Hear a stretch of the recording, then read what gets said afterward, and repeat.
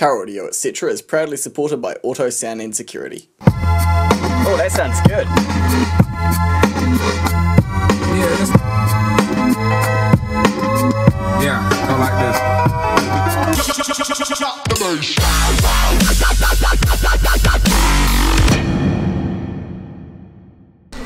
Good morning guys, how's it going? James here from Car Audio, etc.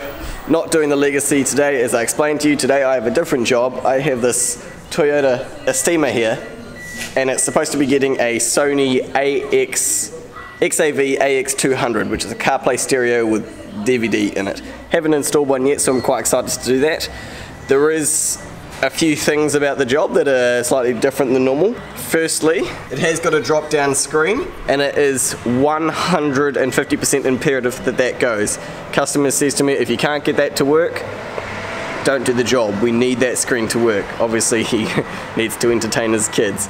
Um, at the moment, it's got the factory Toyota DVD AV radio thing.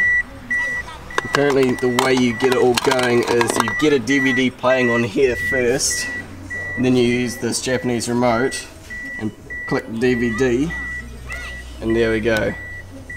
So the fact that he uses a remote, I don't know, like I'm just hoping that it's just a video signal going into it and not data because if it's data there's no way in hell that I can hook into it. Uh, it has to be a composite video signal going into that otherwise it's just not going to work with the Sony stereo. But if that is all good, there are a couple of other things that I'm going to do to hook up to it. So firstly, it does have a reversing camera, so if I go into reverse, you can see that. And it does have steering lines. Those definitely won't show up on the new stereo if I can get it going. But um, that's another thing that suggests to me it might go through a digital video interface. Hopefully not, but it's possible. And then it also if you're a neutral or drive or anything, it's got these buttons over here, that on and off, and you can see actually if I click it, click the on one, you see it shows up on the dash there. So when I click it, we get this view. We get like the front of the bumper, to the right of the car, and to the left of the car. And that is coming from this here which uh, even though on the display it shows up as three separate images, it's actually just one camera. And there is, I'm going to try and focus on it, but it's quite hard. There's a mirror prism in there, which makes one camera see three images, basically. And I want to try and hook that up, the reversing camera, the drop down screen, and the steering wheel controls for the audio. That's going to be the easiest part. But um, like there's a gap in between the images here which worries me slightly because if it was really just seeing a standard video signal it would come through as just one big image. I doubt I'm gonna, if it's possible, I doubt I'm gonna be able to get it to go off this uh, this on off button on the steering wheel because our stereos only have one trigger input, that's the reversing input, but it's basically a great big sort of touch and go situation. Firstly I have to figure out if I can get the drop down screen going, and if I can, then great, go ahead with the job, try get the steering wheel controls going, try get the rear camera going, try get the front camera going. And that's my mission. So uh, first things first, I'm gonna pop the stereo out and try and figure out how the video signal gets from the stereo to the drop down.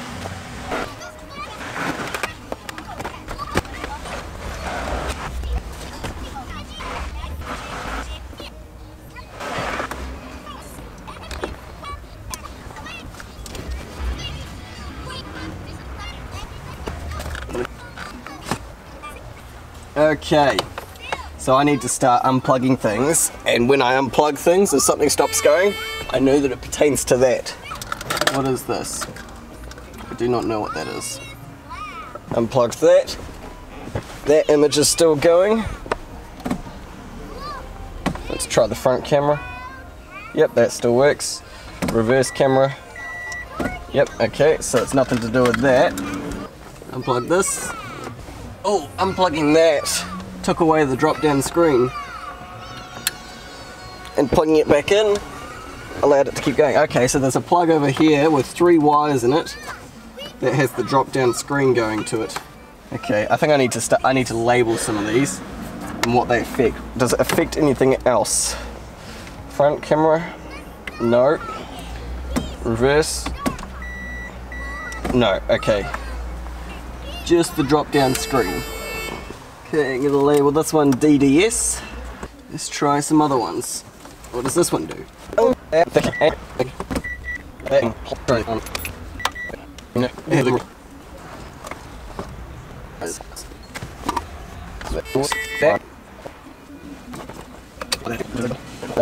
Three weeks later. Okay guys, so um, I was just speaking to the customer. I spent, I've spent maybe an hour on this thing already testing the wires, trying to figure out what was what.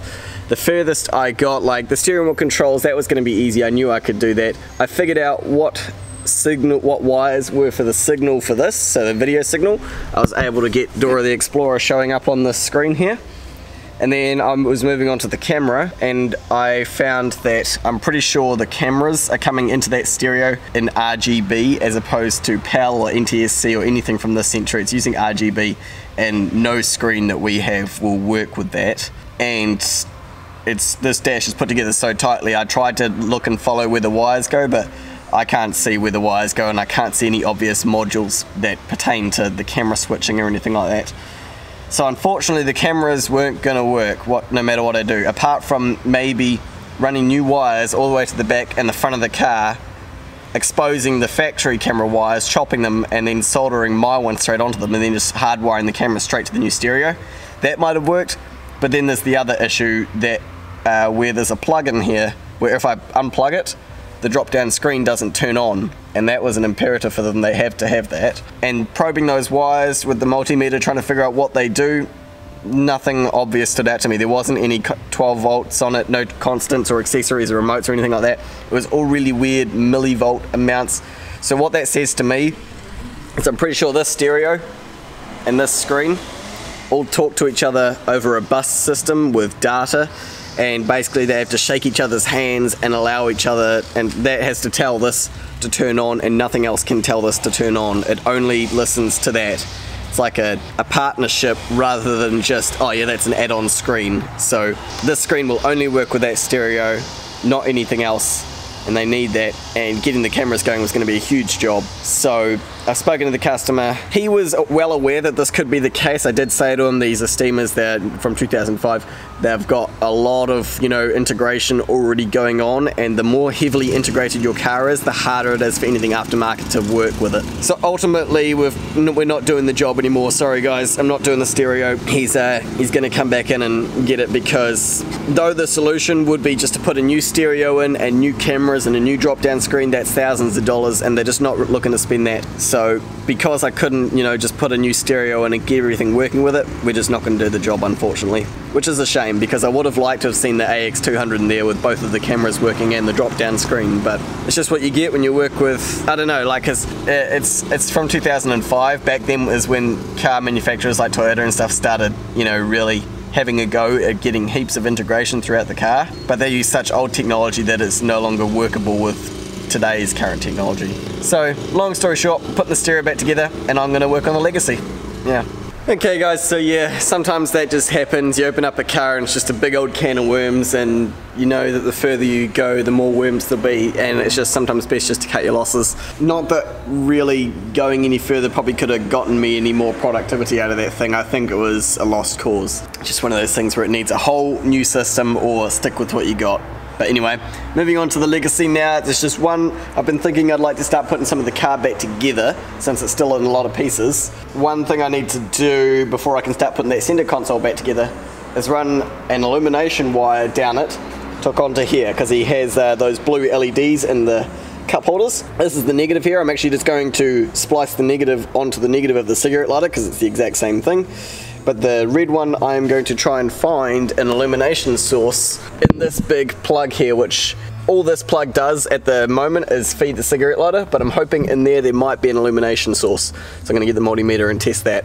Yep, it's the lights on. Oh I found one, look at that, it's illumination, sweet as. That is the purple wire. Yep, that's going to work. So I don't have to run a wire from the fuse box anymore. That's good, I can just get one out of here. So I'm just going to splice a wire onto here and put a female crimp on it and then it'll just plug into the uh, center console and I'll be able to start putting some of this uh, whole area back together. There we go. Quite simple. Just a red with a crimp, and that's gonna plug onto here, which will feed those LEDs. And there's the ground soldered. Oh, you can't see because it's so dark, but the negative is soldered on there, so I don't have to do a plug for that one. So now I can start looking at putting some of the car back together. First thing that has to go on is the big shroud that goes in here, or is it the glove box? Actually, no, yeah, the glove box has to go in first. Glove box goes in and then that shroud. Okay, let's uh, put that back together.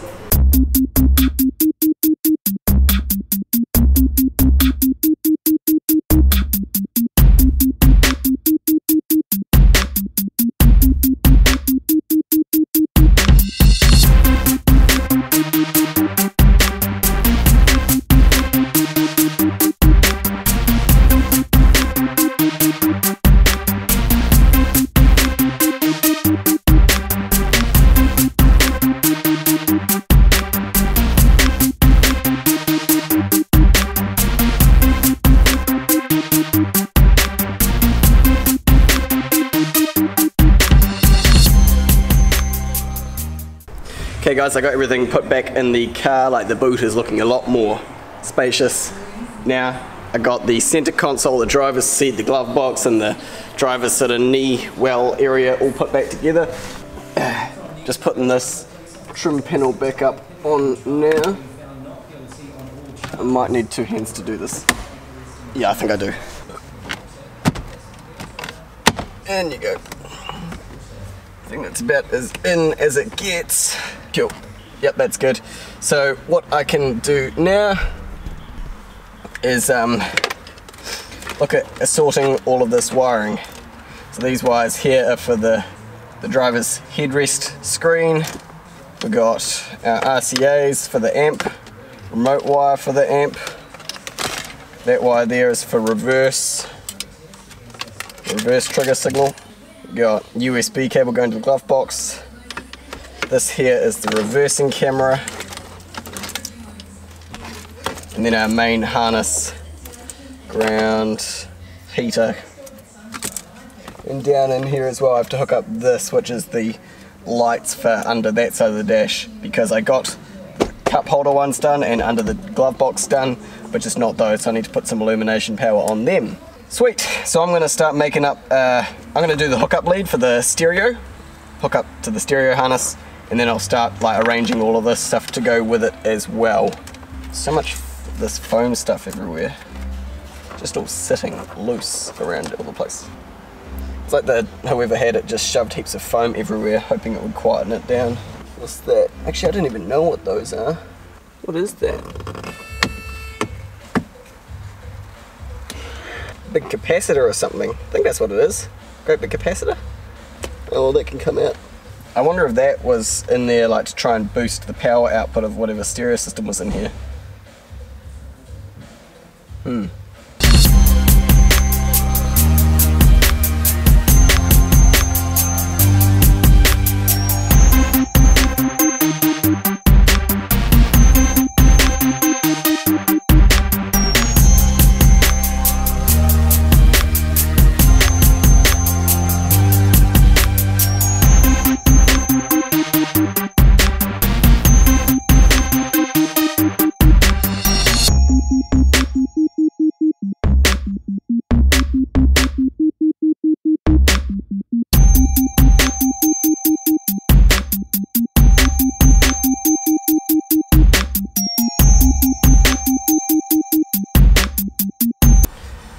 Okay guys, there we go. I um the loom is completely done. So hook up bleed to the stereo harness. Yes, I did wire up the speaker wires coming out of the head unit, even though we're using a 4 channel amp. The reason I do that is uh, it's just a lot tidier having them, you know, wired up rather than a whole bunch of wires sticking out with bits of tape over the ends of them. It just looks a lot better. Um, and I have, you know, made special care to make sure that in the doors I've already, you know, isolated the ends of the factory speaker wires so I know that they're not going to be shorting out on anything. And at this stage the rear speakers and the back doors are actually still hooked up to those so in the event of um, him coming in real early and us not getting the back doors done I wanted those hooked up so we had rear sound or at least some sound. Anyway yep that's hooked up. Got my little bullet connector um, here for the amplifier remote another one over here for reverse USB cord microphone And then in the other sort of loom, I've got all RCA connections. I've got the four channels for the, for the uh, front and rear. And then I've got, now these are labeled, I wonder if I can show you. So we got one here for cam, says cam on it, and another one that says says screen on it. Got the video in from the camera and the video out to the screen and the four channels. And then, yep, that's that's everything. So what I'm gonna do now, because I don't wanna, I wanna just do a test, I'm gonna get the unit in here, sit it on my lap, plug all the stuff in, and basically test everything before I go mounting it in there. Main harness, microphone, USB, goes that way. Then we've got, let's get this towel, and I have labeled my uh, four channel RCAs as well. These ones here, that's the front left and right. Front left, front right, which makes these the rear left and rear right. And the video ones, that is the screen, so that goes to the video out, and this one goes to the camera input. Okay, that is everything. Yep, let's get the key. English, Australia, standard mode. We don't need network mode. We're not doing um, we're not doing separate subwoofer mid and high. Okay, well the amplifier has turned on, so that's good. Actually, I need to turn it off for a second because the amplifier is meant to be on four channel mode. There we go. First thing we'll test is sound, so let's go to the radio. Oh, I haven't got an aerial in here, an aerial plug. Okay. Okay, so far we have sound out of all the channels, I believe. Let's just check that. Rear left, rear right, rear left.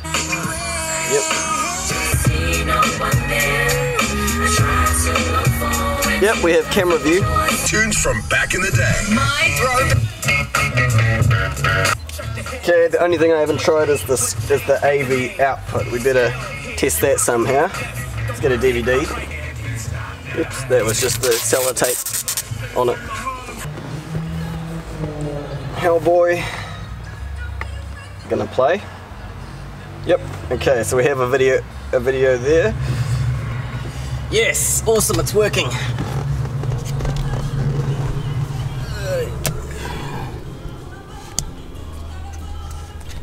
There we go. It's working.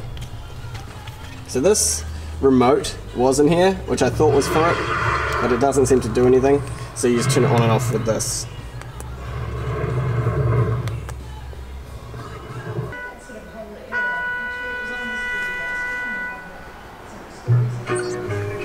Sweet. You better watch out. Well, it seems like everything is working. The only things I haven't tested are the microphone and the USB, but I don't really need to test those. I'm pretty confident that they always work.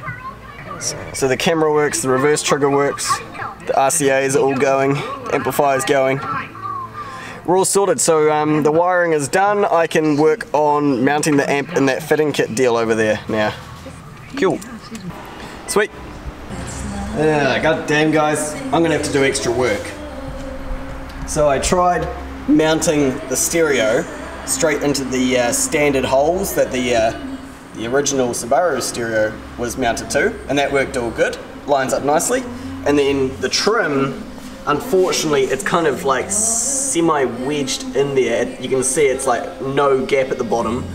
There's an okay gap around the sides, but then there's a huge one at the top, and that's no good because a, it's not even enough, like that's a huge gap. And this is a motorized unit.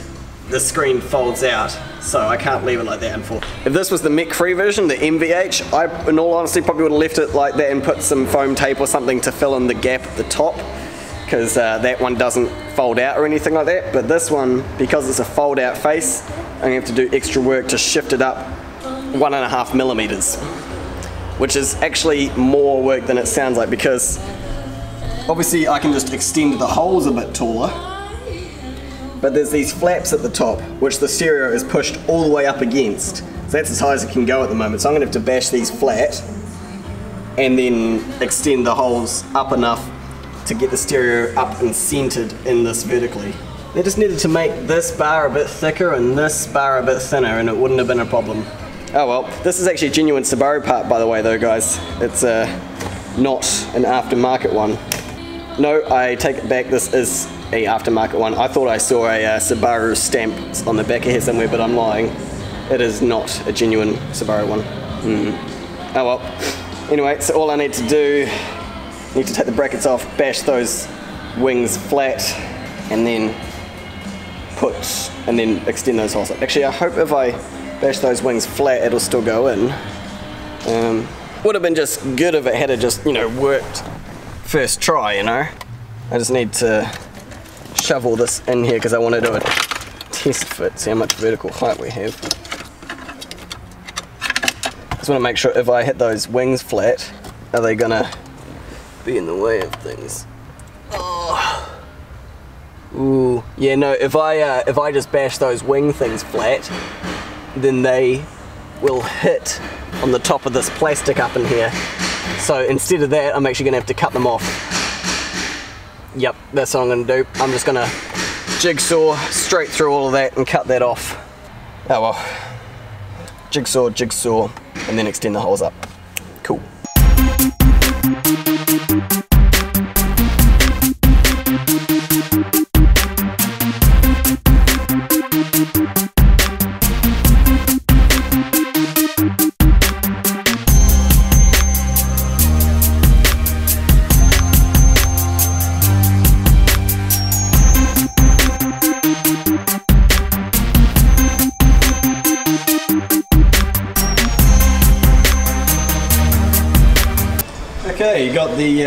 Head unit mounted. Simply, whoops, simply guillotined off the tops of those. Worked really well.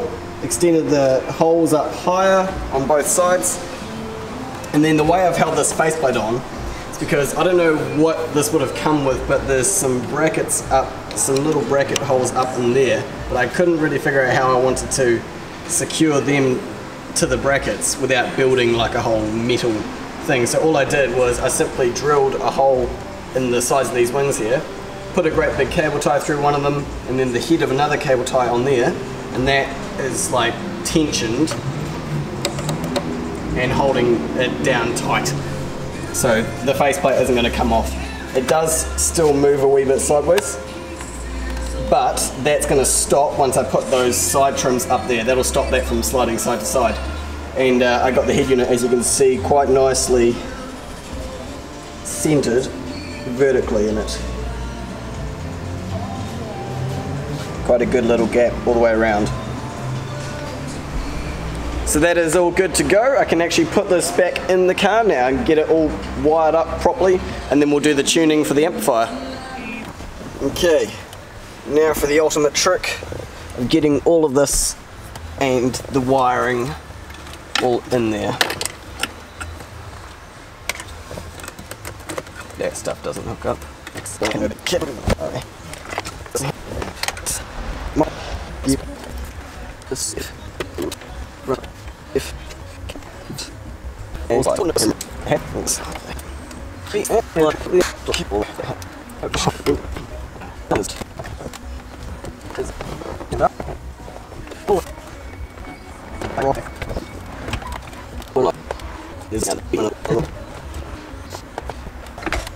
weird, it just doesn't want to quite go all the way in. I wish I knew what it was. If I took this side off, I'd probably be able to tell. I'm gonna have to take all that back off again.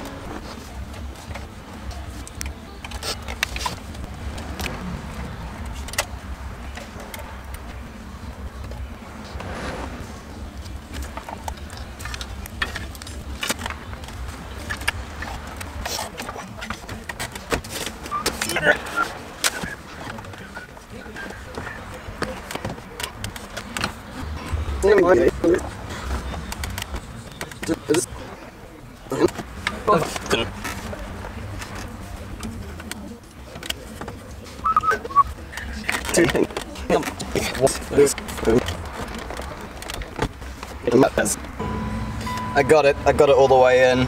It was um, it was the what do you call it? The cable tie heads that I had on the back of the brackets.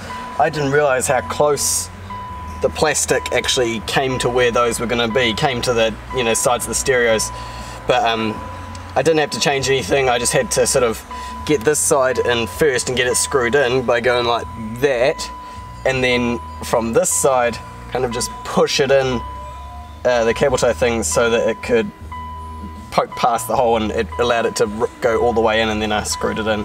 So it's all good. Believe, yep, I've got all six screws in. Yep, I need to just check everything is plugged in now. First works, that works. Yeah, so I have to put the side back on now. There we go, done, all back together. Hopefully it all goes. We should probably do a decent test. Okay, one of the first things I'm going to do is get the setup disc. To tune the uh, amplifier for its gains. Let's just hop in here, turn it on.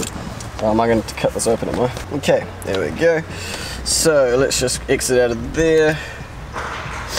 We need to go to the settings, audio, fader balance, center it exactly. Graphic EQ needs to be flat. Subwoofer is off, that's correct. Speaker level is all zeroed. Crossover is zeroed. Listening position is off. Time alignment is off. Kill. Uh, loudness is off. Sound retriever, yeah, that's fine. Bass boost is off. ALC is off. Cool, everything is flat. Let's just eject this disc. This one in. Now just need to turn it all the way down for a second. Okay. So now I'm gonna hop around to this side. I need a little flat blade. Not sure my regular one is. I need to disconnect all the speakers from the amp. There's the front ones, and there's the rear ones. Okay, so now there's nothing, no speakers or anything connected to the amp. So now what we do, set up the camera so you guys can see what's going on. Okay, let's check all this. Input, two channel, four channel, we have that set to four channel, and both of the filters are set to all pass. EQs are on minimum and the gains are just set in the middle. Okay, so what we want to do, since we're tuning a four channel amp which is connected to full range speakers, we're going to play a hundred, a one kilohertz test tone at zero dB, which is track number seven. So I'm going to skip to track seven, and now I'm going to turn the volume on the head unit all the way up to maximum. Wait a minute. Just realised that the rear speakers are hooked to the actual output of the head unit. I just realised that the rear speak the rear door speakers are still hooked to the uh, stereo's rear outputs, so I'm just going to quickly take the door cards off and disconnect those.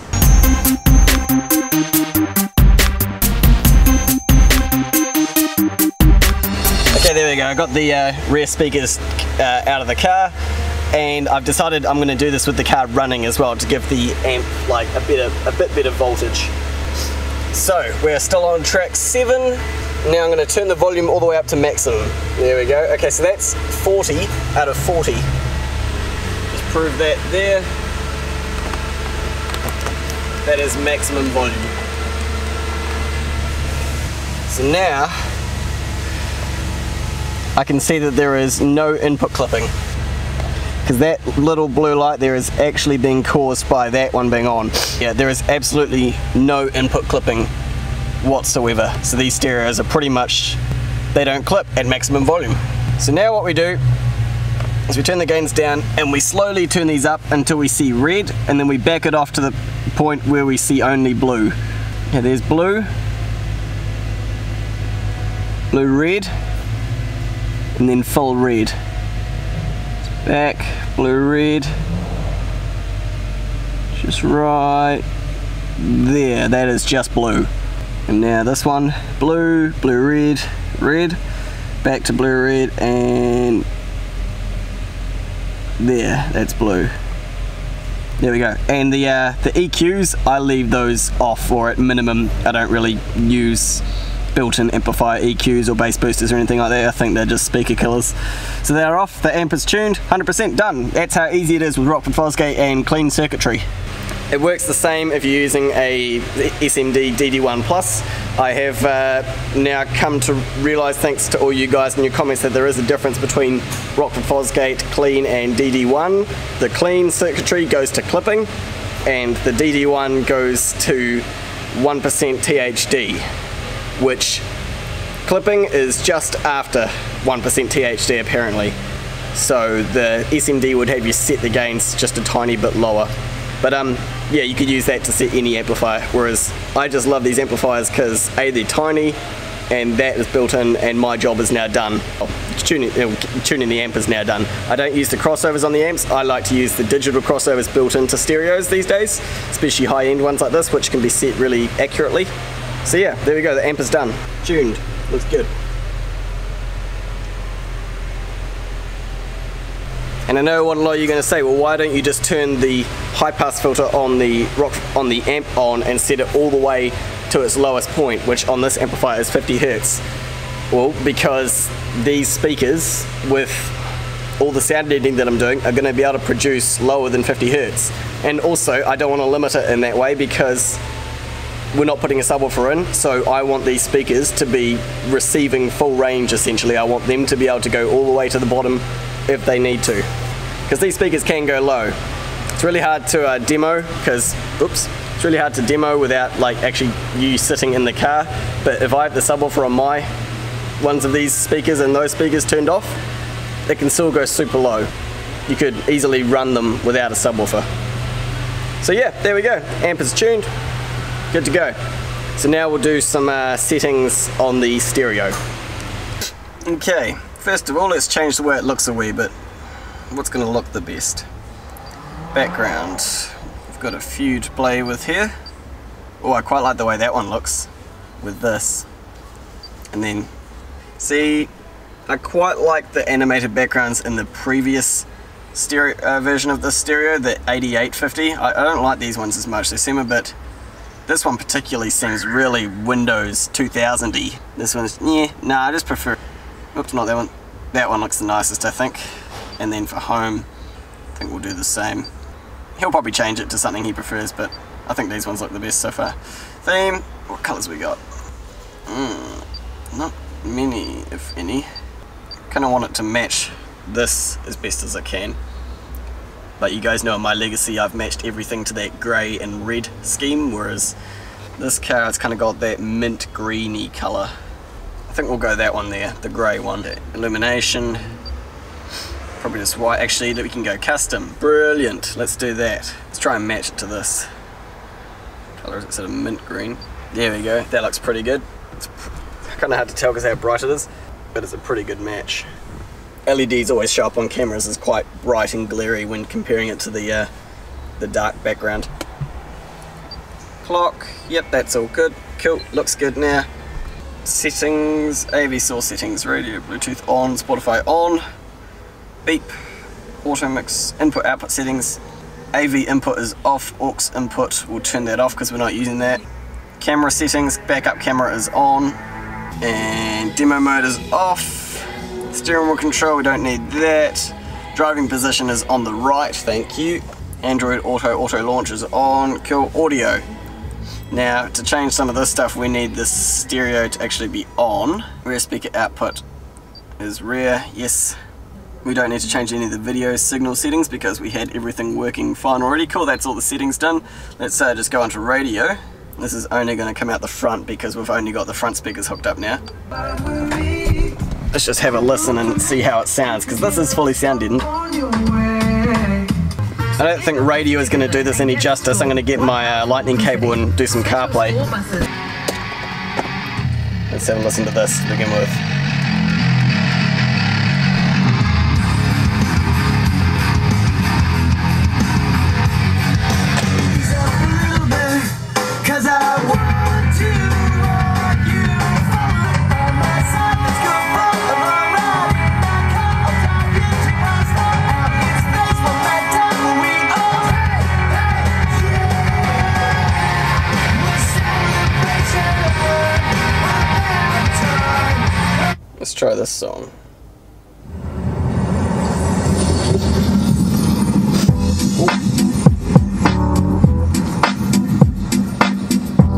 Hey yo, chill, man. Won't you, won't you kick some of that? You know, you, you know how you do it, man. It's a trip. People don't even believe we're together right now. But, but, but tell your story. You know the one I like. Right? Say it for me. Riders on the storm. Okay, so what we're gonna do now, it's sounding good. Let's uh, go into the settings, audio, There's a killer crossover. I'm just gonna set the uh, filters on as basically a bit of an infrasonic filter. I don't want to, you know, start cutting out any low frequencies that could be made by the speakers, but I do want to just cut off those absolute, you know, speaker killing frequencies that are right at the bottom. So the great thing about the stereo is now it goes right down to 25 hertz. Put a 24 decibel slope on that and we're going to do that for the front and the rear. Basically just an infrasonic filter. Oh, you know what? That's we don't need to go that low. That's just getting a bit. Let's. What else can we do? There we go. That's a bit better. We're going to do 40 hertz at 24 for the rear and 31 and a half for the front. So as I say, oop, it's not focused. So as I say, it's just an infrasonic filter to keep the absolute bottom frequencies out of the system, but not to cut any audible music off. Because uh, the amplifier, I'm pretty sure, no, it doesn't have a built-in infrasonic filter. If you give this man a ride, sweet family will die. Killer on the road. Yeah. It's going that with the Lizard King bumping in the back. How about that? Drifting, lifting, swifting, coasting, testing, roasting. But the wheels won't stop.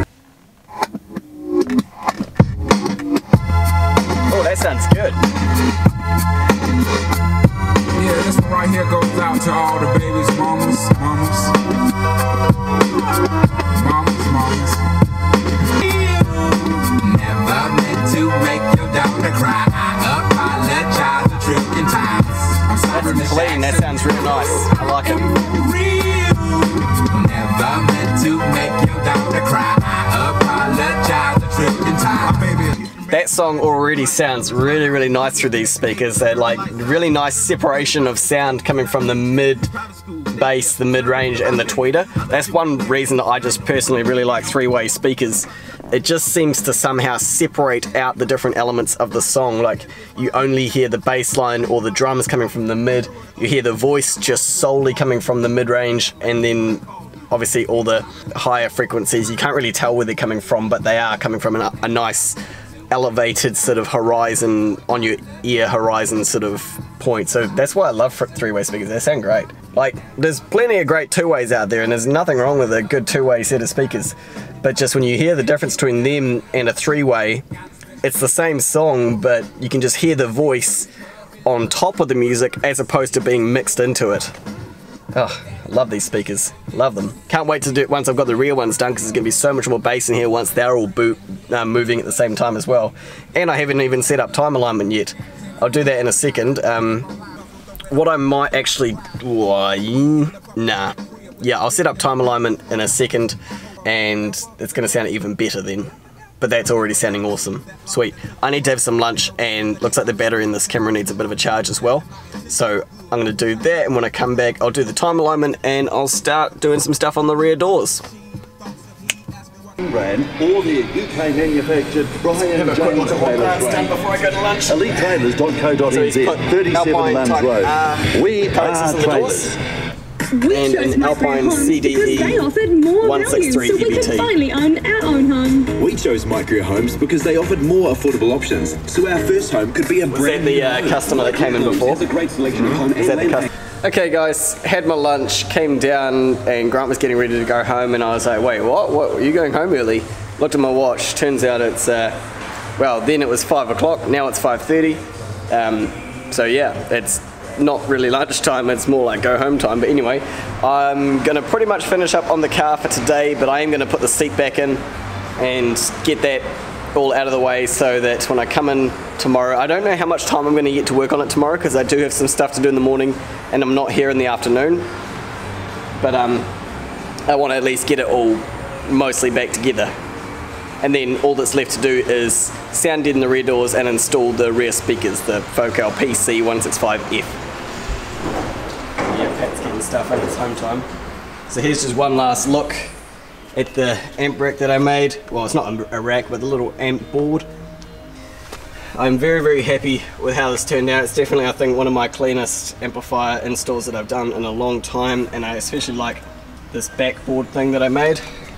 I stole the idea from uh, Dean at Five Star Car Stereo. I saw him doing a sort of like install like this and he had a kick panel on it. I thought that's genius. So I'm gonna start doing that in my amp installs from now on. I like the idea of having a floor and an actual and a kick panel behind them rather than just mounting them straight to the floor. I think this looks way nicer. So thanks for that idea, Dean. Very happy with how it turned out.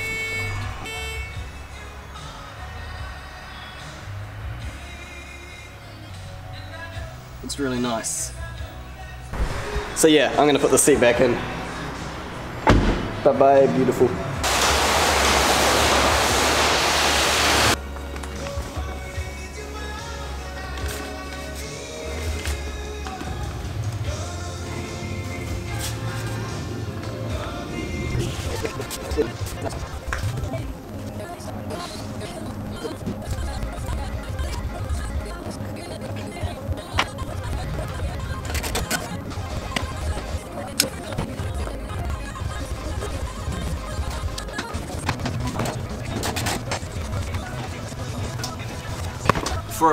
Cover on, try again to show you how close this fitment is. So just look how close that is to there. You can barely fit a screwdriver between it. Super lucky. Or some would say skilled, uh, some would say luck, some would say skill. dang, that is close. It's really hard to tell, the perspective is strange. It looks like it's pushing right against it, but it isn't. Yeah, very, very close. Now, put the cover back on in there.